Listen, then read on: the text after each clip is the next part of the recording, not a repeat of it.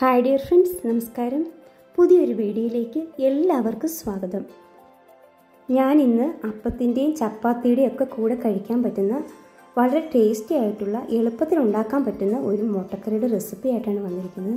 അപ്പോൾ ആ മുട്ടക്കറി എങ്ങനെയാണ് ഉണ്ടാക്കുന്നത് നമുക്കൊന്ന് നോക്കാം.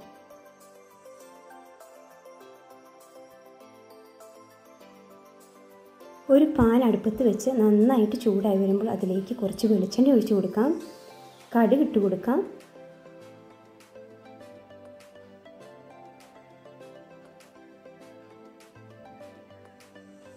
കടുക് പൊട്ടി വരുമ്പോൾ കറിവേപ്പില ഇട്ട് കൊടുക്കാം. ഇഞ്ചിയും വെളുത്തുള്ളിയും ചതച്ച് ഇട്ട് കൊടുക്കാം. ഒരു ചെറിയ കഷ്ണം ഇഞ്ചിയും അഞ്ചല്ലി വെളുത്തുള്ളിയും ചതച്ചതാണ് കേട്ടോ ഇത് ഇത് നന്നായി മൂത്ത് വരുമ്പോൾ ഇതിലേക്ക് നമുക്ക് അരിഞ്ഞു വെച്ചിരുന്ന സവോള ഇട്ട് കൊടുക്കാം. സവോള മൂന്നെണ്ണം ഞാൻ എടുത്തിട്ടുണ്ട്. ഇടത്തര സവോളയാണ്.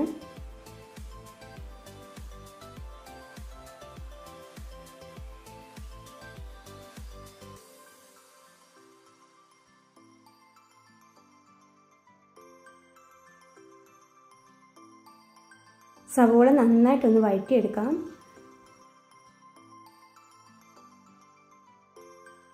അല്പം ഉപ്പും കൂടി ഇതിലേക്ക് ചേർത്ത് കൊടുക്കാം.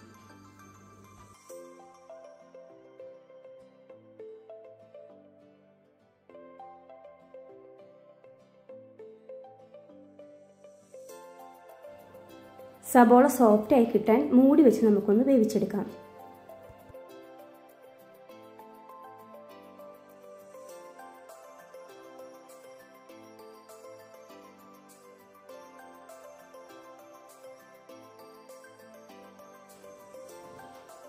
സബോള നന്നായി വഴന്നു വന്നിട്ടുണ്ട്.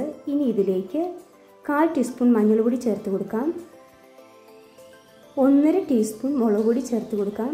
ഞാനിവിടെ കാശ്മീരി മുളക് പൊടിയാണ് ചേർത്തിരിക്കുന്നത്. മുളക് പൊടി ഓരോരുത്തരുടെയും ഇഷ്ടത്തിനനുസരിച്ച് ചേർത്ത് കൊടുക്കാം. ഒരു ടീസ്പൂൺ മല്ലിപ്പൊടി ചേർത്ത് കൊടുത്തിട്ടുണ്ട്. അര ടീസ്പൂൺ ഗരം മസാലപ്പൊടി ചേർത്ത് കൊടുത്തിട്ടുണ്ട്.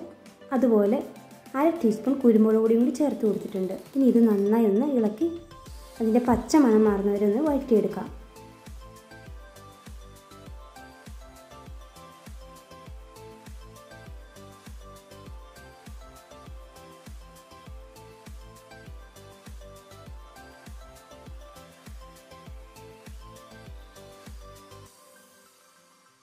ഇനി ഇതിലേക്ക് ഒരു തക്കാളിയും കൂടി ചേർത്ത് കൊടുക്കാം.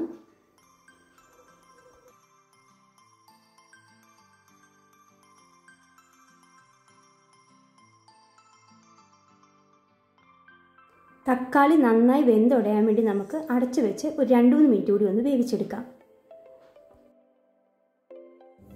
അല്പം ഉപ്പും കൂടി വേണമായിരുന്നു. അതും കൂടി നമുക്കിതിലേക്കൊന്ന് ചേർത്ത് കൊടുക്കാം.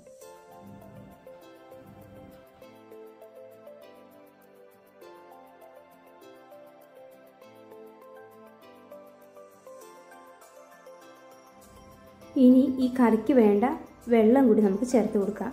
ചൂട് വെള്ളമാണ് കേട്ടോ ഞാൻ ഒഴിച്ചു കൊടുക്കുന്നത്. ഇനി ഇത് നന്നായി ഇളക്കി യോജിപ്പിച്ച ശേഷം ഒന്നുകൂടി ഒന്ന് അടച്ചു വെച്ച് നമുക്ക് വേവിച്ചെടുക്കാം.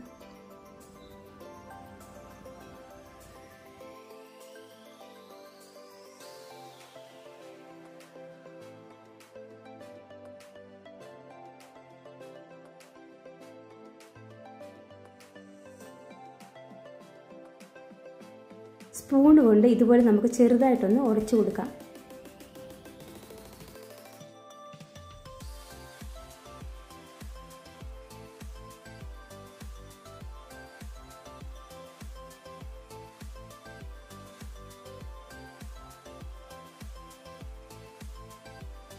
ഇനി നമുക്ക് പുഴുങ്ങി വെച്ചിരുന്ന മുട്ടയെല്ലാം ഇതിലേക്കൊന്ന് ചേർത്ത് കൊടുക്കാം.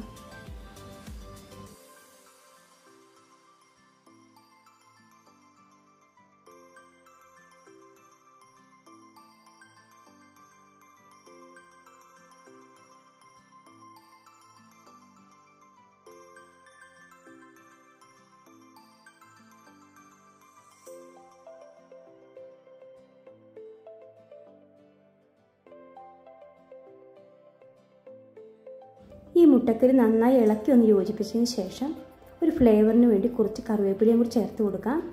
അതിനുശേഷം നമുക്ക് അടച്ച് വെച്ച് ഒരു രണ്ട് മിനിറ്റ് വേവിച്ചെടുക്കാം.